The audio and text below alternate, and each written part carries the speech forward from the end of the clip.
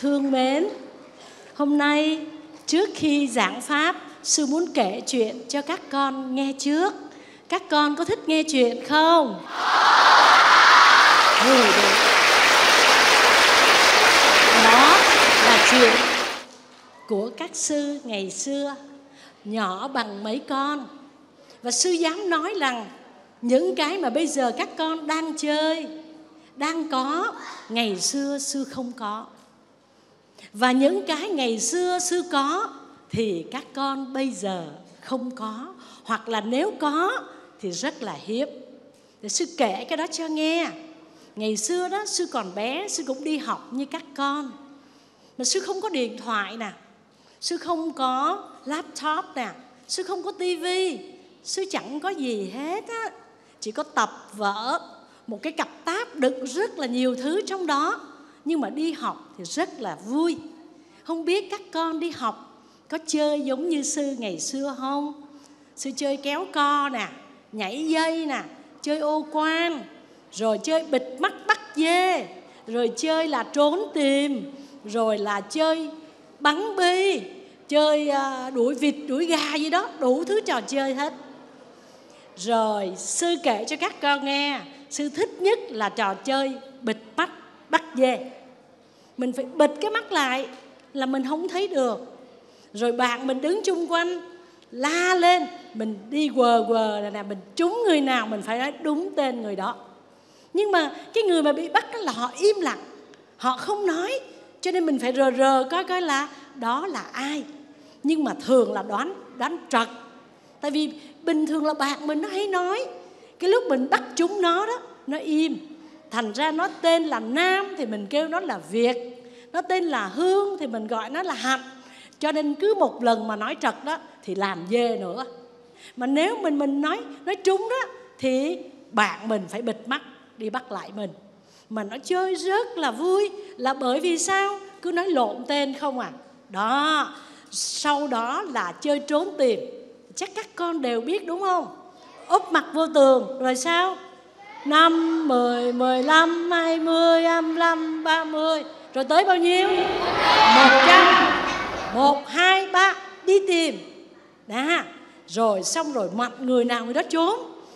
Ngày xưa đó, thì là chơi á, ở trường hay ở cái cái khu phố, khu làng có nhiều chỗ trốn lắm các con.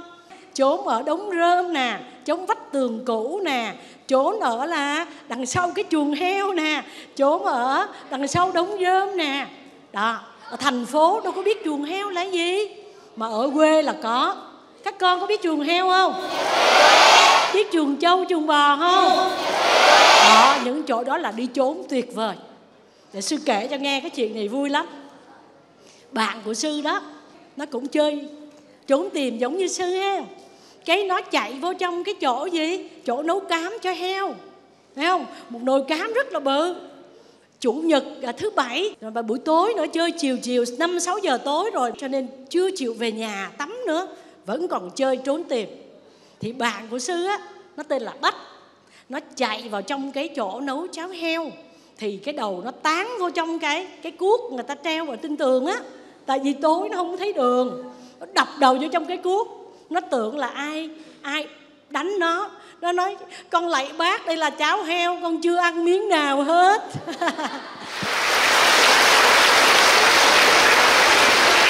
Đập đầu vô cái cuốc mà tưởng ai quýnh mình. Con lạy bác bác ơi, đây là nồi cháo heo, con chưa ăn miếng nào. Vui lắm, ha. Xong rồi đó, chơi kéo co đó mà hai phe ôm chặt cái bụng của nhau, kéo căng ra coi bên nào sẽ thắng. Mà thường thường á, cái người tránh á không bị bứt mà mấy cái đuôi nó bứt ra. Nó té lăn chiên hết, quần áo là lấm lem hết các bạn.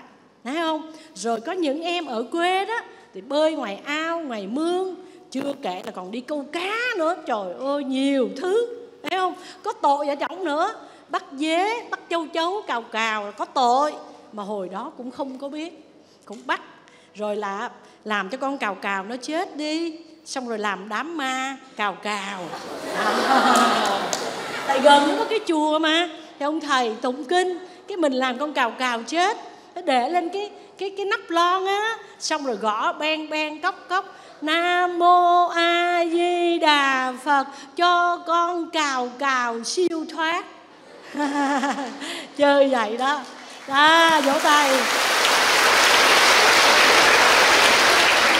Chơi như vậy rồi á, các con biết sao không? Những trò chơi đá lon nè, con trai là bắn bi, con gái nhảy dây với lại chơi là banh thẻ.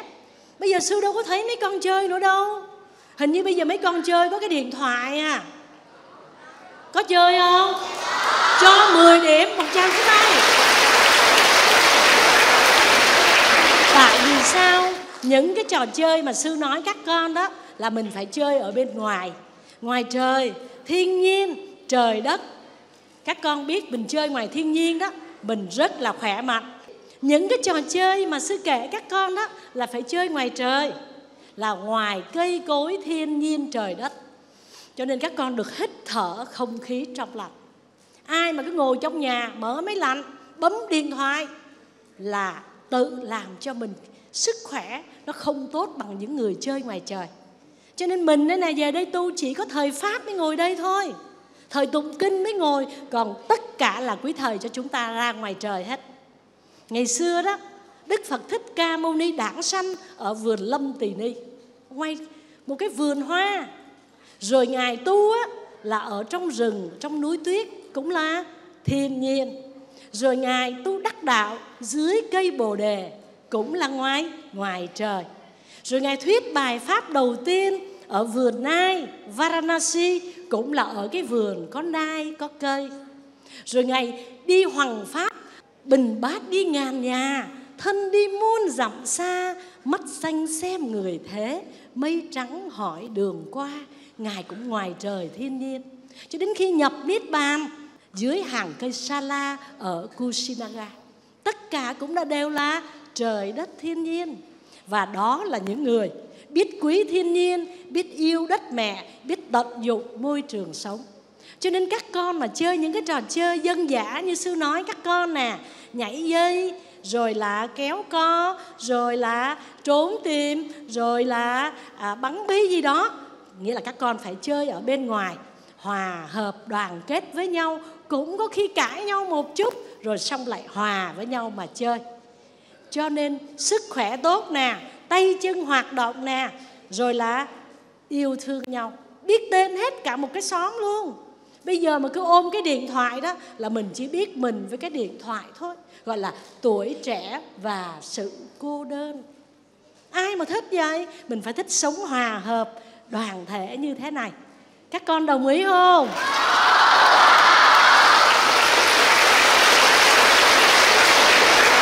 rồi thế rồi các con có khi nào hái me hái ổi hái cóc không?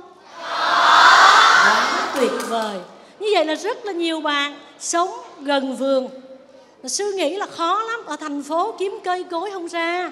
Mà các bạn có cây hái me hái ổi hái cóc chấm muối ăn.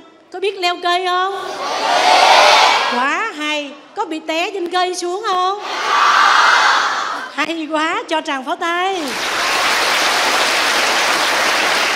nhưng mà mình chơi như vậy ha, thì rất là vui. Nhưng mà quần áo lấm lem hết trơn à. Trời ơi, có khi hồi đó đó, một bạn của sư đó chạy dữ quá, rách rách quần.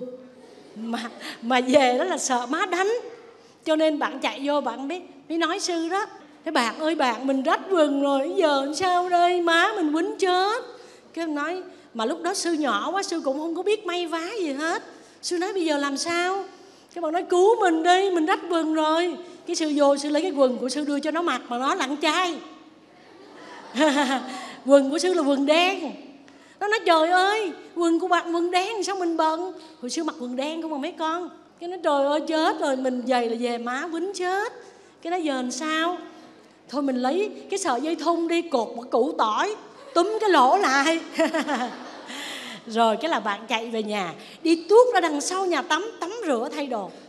Nhưng mà giấu đầu hở đuôi, sáng hôm sau, má giặt đồ, má có thấy cái quần nó rách không các con? Đó, bạn của sư đó tên chiến. Chiến, cái gì đây? Nó nói dạ củ tỏi.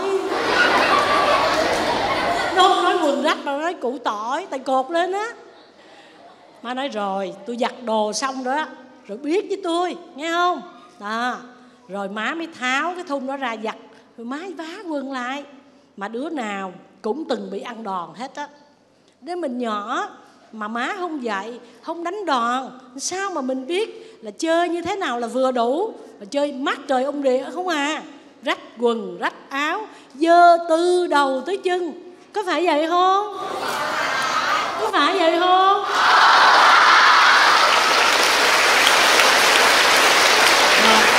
Còn việc này nữa nè, tuyệt chiêu luôn, giữ quần áo trắng luôn, không bao giờ dơ.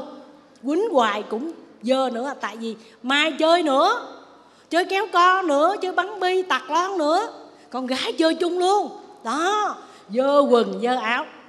Cho nên á, bữa đó, thấy không? À bạn tèo hỏi bạn tí ủa, tèo ơi, sao lúc này mình thấy quần áo của tèo sạch mà không có dơ như trước? Bí quyết của bạn là gì vậy? Cái bạn tèo mới nói, thì mình cũng chơi, nhưng mà mình phải không dám lăn lộn như trước, chơi vừa phải thôi, tại vì để cho má giặt giũ cực lắm. Nhưng mà sao? Đứa nào cũng bị má quýnh, mà có quần áo của tèo là sạch nhất là tại sao? Bạn tèo mới kể vậy nè ờ hôm trước mình đi kéo co về đó, quần áo lấm từ đầu tới cuối, dơ luôn cái áo sơ mi trắng đi học giặt mấy cũng không ra, vàng khe một vết vậy nè. Má thấy vậy nha mua cho cái áo sơ mi mới, rồi mua một gói bột giặt mới thiệt to. Từ đó quần áo mình lúc nào cũng sạch. Cái bạn tí nói, ủa, bột giặt gì mà tốt dữ vậy? Bột gì? Ô hả? Bạn mới nói là, trời ơi, nó không liên quan tới bột giặt mình cũng không biết hiệu gì. Nhưng mà má giặt xong đống quần áo bẩn rồi nói nè ngang bữa sau đó áo quần còn lấm lem thì con ăn bột giặt thay cơm.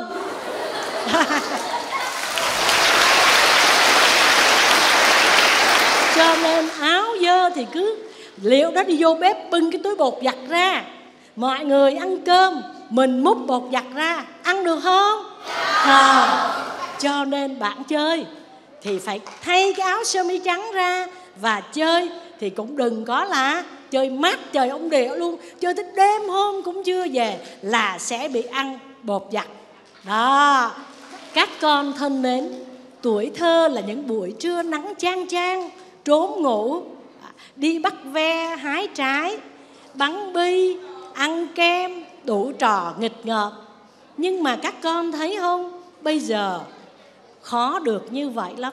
Ngày xưa các sư chơi vậy mà vô tư lắm, học giỏi lắm nghe tại đâu có điện thoại mà chơi, đâu có tivi mà coi. Cho nên về là phải chép bài nè, chữ đẹp. Bây giờ á, chữ các con đẹp hay xấu nè? Có người nói đẹp, có người nói xấu. Mà bây giờ muốn chữ xấu mà muốn làm cho đẹp thì sao? Quá giỏi, phải viết thôi bây giờ các con đâu có chịu viết đâu. Con cứ lấy điện thoại, bấm bấm bấm hoài à. Cái tay nó lủng à. Bây giờ phải tập viết cho chữ đẹp. Vì là nét chữ, nét người. Người ta nhìn chữ viết, biết tánh người ra sao. Rồi, bây giờ sư nói cái này cho các con nghe tiếp. Bây giờ các con á, có khi nào có người bán cà rem đi ngang nhà không? Có kẹo kéo không? Sao sư không thấy? Trời ơi, hồi đó đó nghe, một đồng á, mà muốn kẹo kéo dài cũng được, mà muốn ngắn cũng được, mà mình nó lúc nào cũng thích dài. Thì cũng từng đó thôi, ông kéo ra, nó dài nữa đi chú, kéo ra cũng từng đó à. Xong rồi sao, ngửa cổ lên trời, đưa miệng ra ăn. Tại vì một đồng mà cái cây kẹo kéo nó quá dài. Là tại sao? Tại kéo ra rất là thích. Ăn kẹo kéo, ăn kem, rồi là còn đổi lon với báo cũ lấy tiền, mua kẹo mua kẹo kéo à mua me ăn. Nghĩa là thời xưa rất là vui. Nhà không có tivi nha. Bảy, tám đứa súng vô nhà, một đứa có tivi mà nhà chút xíu à leo lên vai ngồi coi coi bao công, coi tôm ngộ không. Nghĩa là không có tivi năm sáu nhà chụm vô một nhà. Coi tivi thú vui ngày xưa, đó là đọc sách, đọc truyện tranh.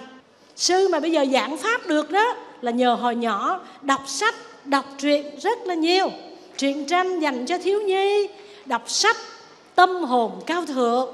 Còn ai mà làm biến đọc sách á viết văn rất là dở, nói chuyện không ai hiểu gì hết cho nên, ngày xưa cái thú vui là đọc sách. Cho tới bây giờ mà sư vẫn thuộc lòng các chuyện cổ tích. Các con có thuộc chuyện cổ tích không? Chuyện gì? Bạch tuyết bảy chú lùn. Tấm cám à cây tre trong đốt. Phù động thiên vương. Cho một tràng pháo tay thật lớn. Rồi. Ở nhà các con có ai đi ngang qua? Ai ăn bánh khúc, bánh giò, bánh chưng không? Vậy là quá vui rồi, cho tràng pháo tay nữa. Xin nói cho nghe nghe. Có những bạn không biết những cái này.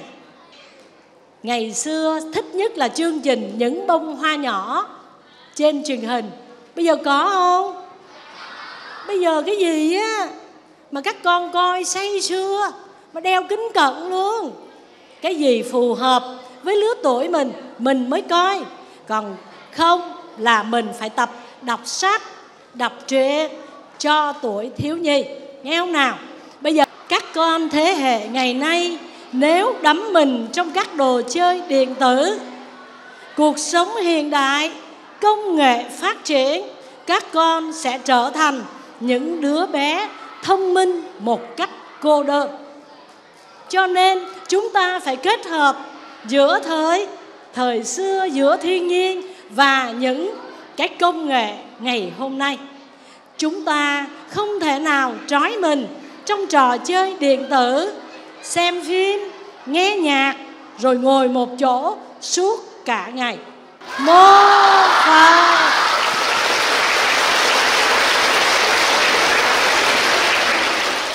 Bây giờ, các em đắm mình trong smartphone, trong mạng xã hội như lẽ sống của tuổi trẻ thời nay. Mọi chuyện riêng tư các con đưa lên mạng, trình lên facebook cho mọi người xem là bởi vì hàng ngày các con không có gần gũi, chia sẻ với nhau. Cho nên mặc cái áo cũng chụp hình đưa lên facebook, mặc cái áo đồng chụp hình đưa lên facebook tôi một chụp hình đưa lên facebook để người khác câu like. Các con làm như vậy sẽ đánh mất đi những cái cao đẹp đời sống của chúng ta. Đâu phải cái gì cũng đưa lên facebook, mà chúng ta phải sống với chính mình bằng những trò chơi thiên nhiên, hòa hợp. Mặc dù đôi khi các con có chơi game nhưng chỉ là một chút xíu thôi, chứ không thể nào mà dùng nó như một phương tiện giải trí căn bản. Cái gì cũng cầm điện thoại trên tay. Nó sẽ làm cho đầu óc các con hư hại.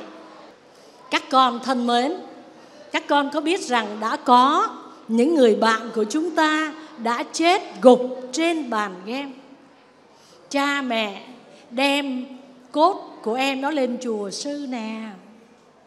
Nó đã bị trầm cảm và nó đã chết rồi. Và đây á, là cái cốt của nó là sư ơi. Đó là đắm mình trong game quên ăn quên ngủ. Tưởng mình là nhân vật ảo ở trong cái cái trò chơi. Cho nên lâm bệnh và đi chơi ở đâu ba mẹ đâu kiếm ra. Cuối cùng là chết các con có biết không? Đồ ăn, thức uống của các con bây giờ cũng vậy. Gà chiên, khoai tây lắc, sữa hộp, trà sữa. Nói cho đúng, những thứ đó nếu các con dùng nhiều, các con sẽ có bệnh trong người. Không nên dùng nhiều. Đồ ăn fast food là đồ ăn công nghiệp mà các con không nên dùng nhiều. Hãy sống trong đời sống gia đình. Và có những bữa ăn cùng với cha, với mẹ, với anh và với em. Ở chùa Hằng Phát này, các con ăn cơm chung với nhau. Các con có vui không? Có. Thì về nhà cũng vậy. Các con hãy cùng cha mẹ, anh em ăn những bữa cơm điều độ các con không nên dùng những thức ăn công nghiệp quá nhiều. Điều đó tai hại cho trí óc. Những đồ chơi điện tử à, lấy các con thấy nè mô tô nè máy bay nè người máy nè nhìn nó gồ ghề như vậy. Nhưng mà có súng nữa. Không nên chơi những đồ chơi có tính chất vũ khí chiến tranh. Một cái diễn viên điện ảnh mỹ rất là nổi tiếng. Ông nói là ông là một người nổi tiếng nhưng mà ông rất ân hận. Là bởi vì ông đã đóng những bộ phim khiêu khích chiến tranh. Sau đó, ông quy y tam bảo các con. Và ông thề rằng không cần sự nổi tiếng, miễn làm sao những bộ phim ông đóng mang giá trị giáo dục. Ông tiếc rằng ông làm những cái gì? Người dơi, ông làm người cầm súng, ông làm anh hùng mà ông khơi gợi lòng khiêu khích căm thù, chiến tranh. Cho nên các con thấy trên báo không? Con giết cha mẹ. Có những đứa bé vào nhà băng, làm bom giả, cướp tiền, cướp nhà băng. Đó là ảnh hưởng những trò chơi ảo và làm mất tất cả tính chất đạo đức lương thiện trong con người của các con. Các con có biết không? Có một cái người đó tâm sự với sư như vậy nè. Trời ơi, sư ơi mùa hè đó, mấy anh em con đó là luyện toàn là các cái phim bạo lực. Mà xong cái mùa hè rồi đó, thì đứa nào cũng thay giày. Dép nó không có mang nữa, nó mang những cái giày nó vằn về áo nó mặc những áo vằn về mặt nó lúc nào cũng hùng hằng. Thành ra là mình xem là mình ăn đó. Không phải là đợi mình ăn cơm mới là ăn, mà con xem nó cũng là thức ăn tinh thần cho các con cho nên nếu các con ăn những cái bộ phim khiêu khích, chiến tranh, hận thù, bạo lực hay là dâm dục, nó đều phá nát cái trí não của các con. Bây giờ khó tìm được những đứa bé ngây thơ về, mẹ ơi, con yêu mẹ lắm. Các con nè, đi khóa tu mùa hè về, mình có thể nào đến bên mẹ mà nói rằng, mẹ ơi, con cảm ơn mẹ. Những ngày vừa qua, con đã có những ngày tu hạnh phúc. Con cảm ơn mẹ. I love you. Ôm mẹ, hôn mẹ. Có được không? Wow. các con đi khóa tu mùa hè về. Hãy cảm ơn mẹ. Cảm ơn ba. Bây giờ hình như không có cảm ơn mẹ. Không có hôn mẹ. Mà nhắn tin cho người yêu. Nhỏ xíu mà có người yêu. À. Trời ơi, yêu cái gì? Các con biết không? Việt nam mình chỉ số phá thai cao nhất nhì trên thế giới. Mà có những cái vị thầy á, nhà ngoại cảm á đi đâu cũng thấy vong linh thai nhi hết. Mà của học sinh sinh viên sống gấp, sống vội, có thai, phá thai. Mà các con đừng tưởng nghe, mấy cái vong linh thai nhi đó, nó theo báo các con suốt đời. Cho nên đừng bao giờ xem những cái phim khiêu khích bạo lực, dâm dục, rồi là tạo các ác nghiệp. Nghe rõ không nào?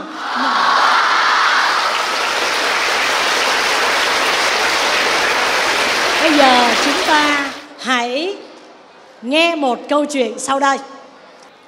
Sau bữa cơm tối một giáo viên kiểm tra bài tập về nhà. Học sinh của cô làm thì chồng cô giáo á, mới đi chung quanh cái chiếc điện thoại thông minh. Cái ông chồng đó cũng mê điện thoại luôn cho nên ngồi cầm cái điện thoại chơi. Người vợ chấm bài cho học sinh một chập rồi bật khóc. Cô giáo chấm bài xong khóc người chồng lo lắng mà mắt vẫn không rời cái điện thoại em khóc cái gì vậy mắt thì cứ bấm điện thoại mà miệng hỏi, vì sao em khóc Cô giáo trả lời như sau. Hôm qua em giao bài tập về nhà cho học sinh lớp 2 viết về chủ đề ước mơ. Người vợ nói tới đó là bật khóc. Người chồng nói, viết về chủ đề ước mơ, có cái gì đâu mà em khóc. Người vợ mới nói đây anh nghe một bài viết đây nè. Thưa cô, mong ước của con là trở thành một chiếc điện thoại thông minh. Con muốn con là smartphone. Bởi vì bố mẹ con yêu smartphone hơn tất cả mọi thứ. Họ quan tâm đến nó rất nhiều. Họ quên cả con cái. Họ quên cả nói chuyện. Họ quên cả lúc ngồi trên bàn cũng chơi smartphone cho nên bố về nhà sau một ngày làm việc mệt mỏi, bố dành thời gian cho chiếc điện thoại, chứ không phải dành thời gian cho con. Khi bố mẹ đang làm việc gì đó quan trọng, mà nếu điện thoại reo, thì lập tức họ bỏ tất cả để mỗi người lại cầm lên chiếc điện thoại mà không ai nhìn ngó đến con. Điều đó không bao giờ xảy ra. Nhiều khi con buồn, con khóc ba mẹ cũng chẳng bao giờ hỏi vì sao con khóc mà cứ ngó vào trong điện thoại. Họ chơi trên điện thoại mà không phải chơi với con. Khi đang nói chuyện điện thoại, họ không bao giờ lắng nghe con, mặc dù con nói những điều rất là quan trọng. Đến thế nào đi chăng nữa, chẳng ai nghe con. Cho nên ước muốn đời con không là con nữa, mà con muốn con trở thành chiếc điện thoại thông minh.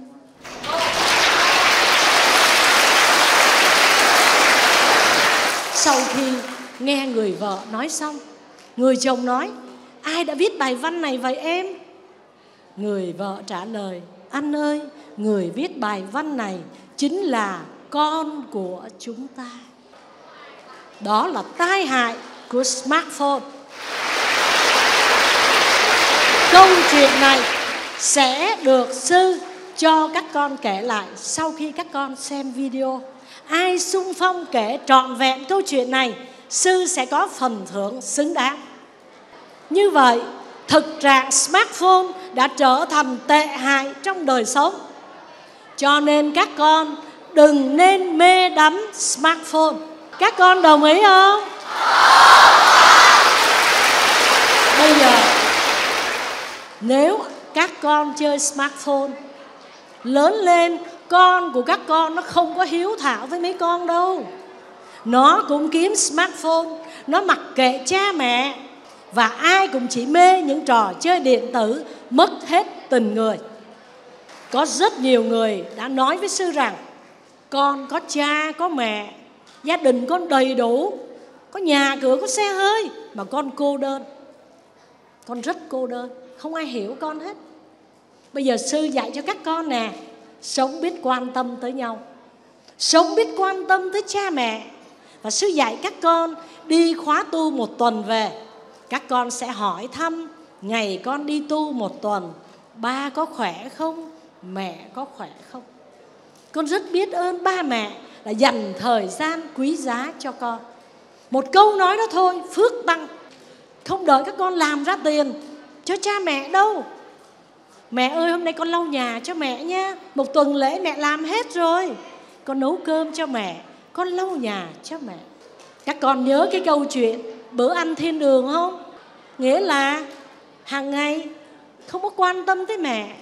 Mẹ đi làm, mẹ kiệt sức, mẹ lâm bệnh. Chẳng bao giờ biết nấu cơm cho mẹ hết. Mẹ làm tất cả cho đến khi một ngày đó mẹ kiệt sức, bất tỉnh giữa đường. Và nó trở về, nó nấu cơm, nó nấu canh, nó xào rau, bởi vì mẹ nó đã bệnh, nằm trong bệnh viện. Nhưng mà các con biết không? Cơm nấu xong rồi, canh chín rồi, rau xào rồi, sao mẹ mãi chưa về? Nó bưng bát cơm, nó ăn một mình. Ghế kia là của mẹ ngồi, mà không có mẹ và cuối cùng, đó là tấm di ảnh của mẹ, vì mẹ nó đã chết rồi. Người ngồi bên cạnh không phải là mẹ, mà tấm di ảnh của mẹ là bàn thờ của mẹ.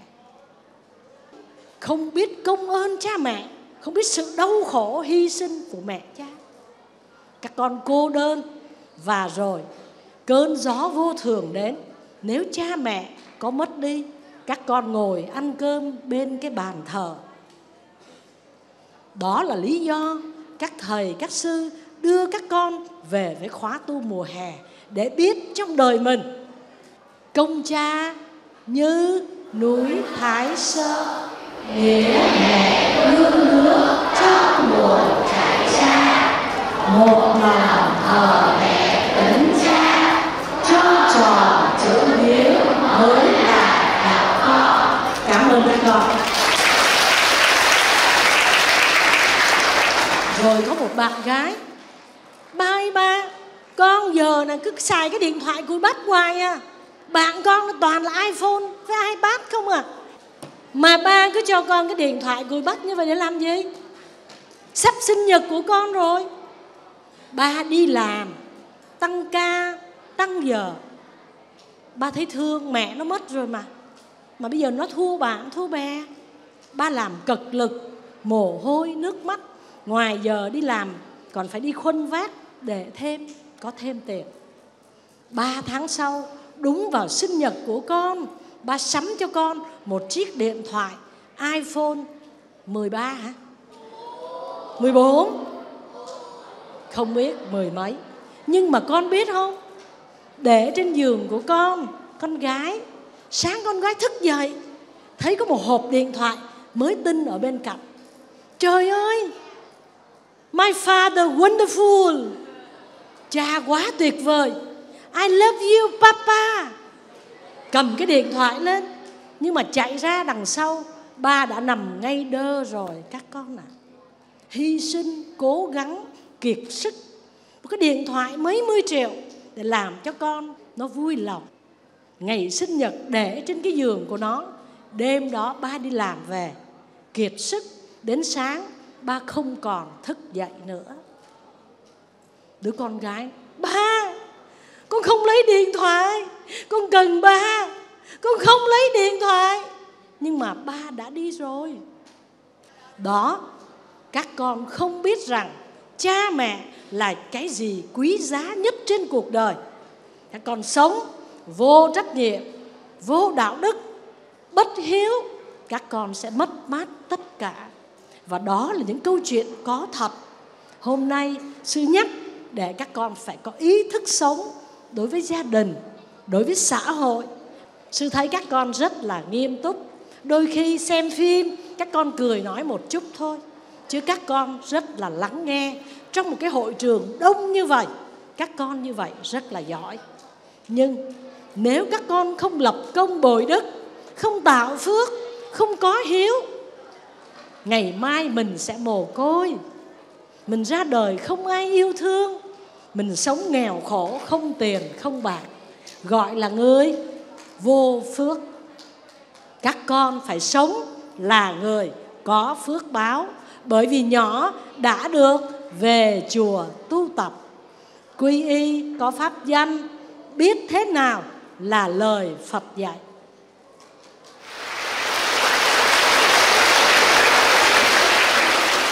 Các con hãy đọc theo sư. Con tưởng nhớ phật. Con tưởng nhớ phật con kính mến cha mẹ. Con kính mến cha mẹ và thuận thảo với anh chị em và thuận thảo với anh chị em. Con thương người và vật con thương người và vật các con phải đọc lại.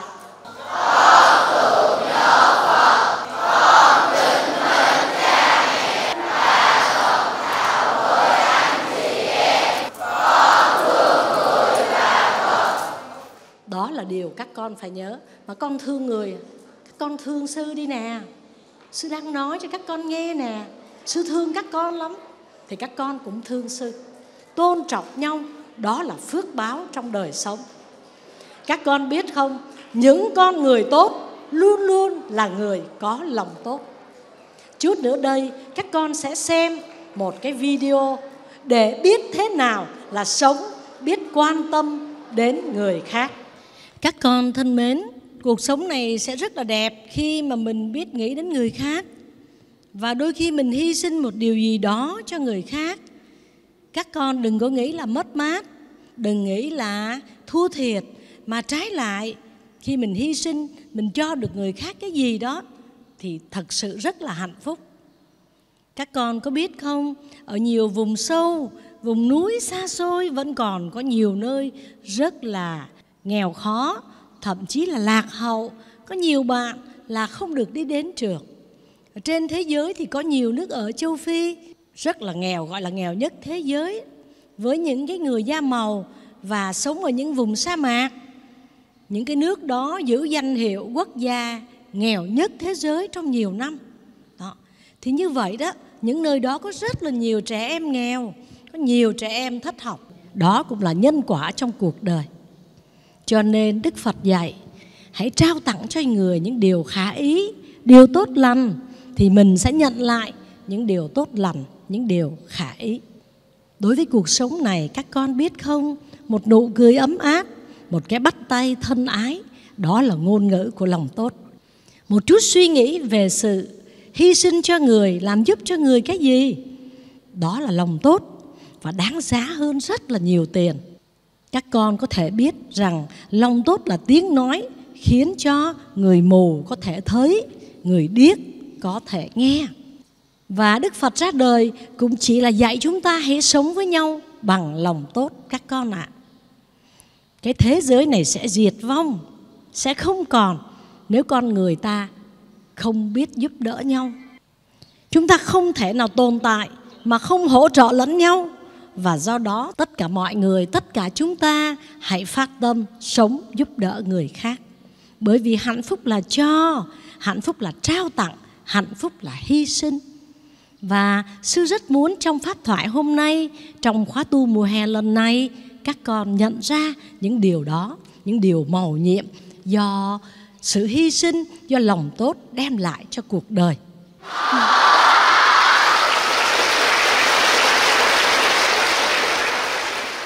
Sư muốn rằng sau khóa tu mùa hè, tất cả các con đều tu tập lòng tốt đối với nhau không có ganh tị, không có hơn thua, mà sống với nhau bằng tình thương. Các con có thể làm được điều đó không?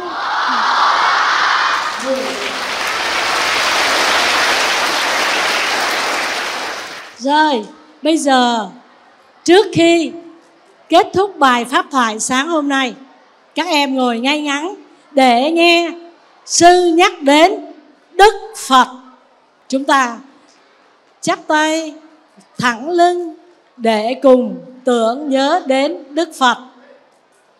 Nam mô bổn sư thích ca mâu ni phật. Đức phật rất coi trọng tuổi thơ, bởi vì ngài nói rằng có bốn điều rất quan trọng trong cuộc đời. Thứ nhất, một đốm lửa nhỏ. Thứ hai, một con rắn nhỏ. Thứ ba một em bé nhỏ và thứ tư, một tu sĩ nhỏ. Tại sao một đốm lửa nhỏ có thể cháy tiêu hết một ngôi nhà? Một con rắn nhỏ có thể cắn chết người ta? Một đứa bé nhỏ như các em đây, mai sau sẽ trở thành người lãnh đạo đất nước, người thầy trí tuệ, người làm lợi lạc cho đất nước, cho nhân loại. Một tu sĩ nhỏ ngày mai sẽ dắt dẫn chúng sanh đi trên con đường chánh pháp. Cho nên đức phật nói có bốn điều quan trọng trong cuộc đời. Bốn điều quan trọng đức phật dạy. Thứ nhất là